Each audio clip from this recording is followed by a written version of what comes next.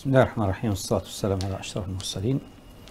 وهذا الوصف نستطيع أن نقول هو الوصف الدائم للعلاقة يعني أدق وصف وربما الوصف الثابت في العلاقة اللي هو هذا التذبذب الذي يحدث من حين لآخر لأسباب تاريخية. بالدرجة الأولى آه، باعتبارها دولة مستعمرة وباعتبار أنه ما بعد الاستقلال ما زالت كثير من الملفات عالقة. على مستوى بعض الممارسة والإدارة والسلوكات وبعضها على الأقل على مستوى العقليات. إذ ما زالت أطراف فرنسية آه، تنظر إلى الجزائر بعقلية أنها مستعمرة قديمة تابعة لها. آه، لم تقتنع بعد باستقلال الجزائر رغم مرور 60 سنة على هذا الاستقلال. ما زالت تفكر بعقلية الهيمنة وبعقلية المصالح الفرنسية على حساب المصالح الجزائرية. هناك أطراف حتى الرئيس الفرنسي شخصيا اشتكى منها في هذا الموضوع هذا.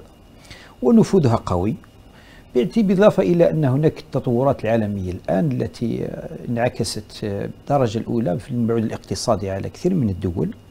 ومن بينها فرنسا التي تعيش أزمة اقتصادية خانقة في ارتفاع الأسعار في ارتفاع معدل التضخم في انتشار البطالة في هذه التظاهرات التي أصبحت يعني يعني أصبحت روتينية في في في في في في في, في فرنسا ما بعد أصحاب البدلات الصفراء والآن في موضوع قضية موضوع التقاعد قانون التقاعد. وقد وقد تكون هناك أيضا أزمات أخرى مؤشرات لازمات أخرى لأنها مرتبطة باقتصاد. ممكن تداعيات الأزمة الاقتصادية العالمية. نعم طبعا قلت هذه هذه من بعض نتائجها التي أثرت على فرنسا واحدة من الدول التي تأثرت كثير من هذا ولكن الآثار قد تكون في المرحلة القادمة أسوأ مما هي عليه الآن.